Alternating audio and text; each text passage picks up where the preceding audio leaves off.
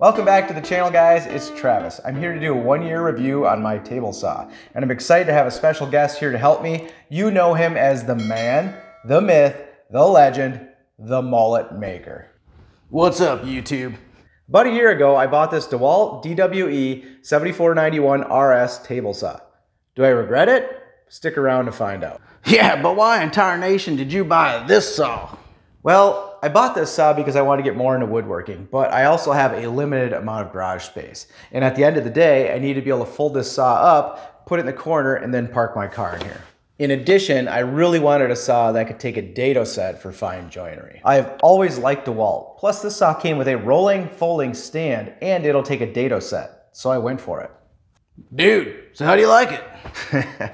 well, there are some things that I like and some things that I don't like. So let's start with the things that I don't like. The table size. I really wish I had a dedicated woodworking shop so I could have bought a massive table saw and then built a huge outfeed table around it. But I made the best of my situation and I designed this folding outfeed table. Not only has this table made my saw way more useful, I can still fold everything up and store it away at the end of the day. By the way, I have plans for this folding outfeed table available on my website. Without some sort of outfeed table, dealing with 4x8 sheets of plywood or long pieces of lumber is super tough and even dangerous. Shoot, I ain't gonna lie, that does sound dangerous. For sure. The other thing I don't like is the depth of cut setting. I noticed as I was making my shaker style cabinet doors that the depth of cut was actually changing. The vibrations from the saw were actually making the adjustment wheel turn. Not good. I hate that it loosened up, but I figured out that I could tighten this nut and make it good as new.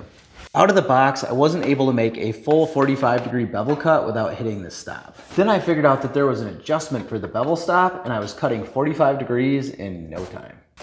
Rip capacity. Even when I move the fence out to its extended position, I only have 32 and a half inches of max rip capacity. Although it very rarely limits me, there are times when I wish I had just a little bit more. Man, that is just inappropriate. The included miter gauge is garbage. Buy better one or make a sled. Heck yeah, if it's freebie, it's good for me. this saw does not have the safety features of a stop saw, so it's ideal for cutting hot dogs and fingers.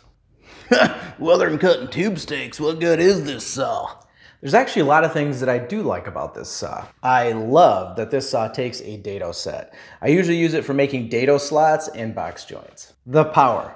Even though there are far more powerful saws out there, I have never had any issues making any cuts in any wood. The rack and pinion fence adjustment. No matter how much you move it, it always seems to stay square. That's really a feature I would expect in a much more expensive saw. The what now? I really like that there's a lot of adjustability to improve the accuracy. You can adjust the 90 degree or the max bevel stops. You can do that by turning these two cams right here, giving you a perfect 90 degree or 45 degree cut. You can adjust the blade to make sure it's perfectly parallel with the miter slot by adjusting the housing. You can do that with either a dial indicator or a combination square. The alignment of the riving knife can even be adjusted and those adjustments are right here. The fence can even be adjusted to be parallel to the miter slot with these adjustment screws. You can also adjust the rip scale, and once you have it set, it's actually quite accurate. And there's even enough adjustment in it to accommodate for the extra 3 quarter inches for my sacrificial fence. I also really like this fence flippy thing. It does a really nice job supporting thinner plywood when making longer cuts. And for me, the best part is when I'm all done with this saw, I fold it up and stow it away and it takes up very little space. I like that there's a two and a half inch dust extraction port on the back of the saw, as well as one on the blade guard. That being said, I don't really use the blade guard very much because I like to see my cut. I know. Dude, that is just crazy. Most of the tools needed on a regular basis for the saw are stored right on the saw itself, which is really convenient when you need to grab the push stick or you need to change a blade. Well, that's just all fine and dandy, but how'd you make a job site saw work for woodworking? Well, first off, I purchased a few different blades that were better suited for woodworking, including this ripping blade, this combination blade, and this dado set. The dado set includes two blades, three chippers, and spacers. With this set, I can make consistent dado slots, rabbet cuts, and box joints. In order to make box joints, you're also going to need a jig. But in addition to a box joint jig, I also made a crosscut sled for safer, cleaner, more accurate cuts. And a taper jig for making tapered cuts or putting a straight cut on a piece of rough sawn lumber. The zero clearance insert reduces tear out and it also prevents thin cutoffs from falling down into the blade housing. One of my biggest upgrades was my folding outfeed table. It does a really good job supporting longer work pieces, but it also makes your cuts so much safer and easier. I purchased a better miter gauge. It has adjustments to take the slop out of the miter slot. It has very accurate angle settings and has an adjustable fence with a stop.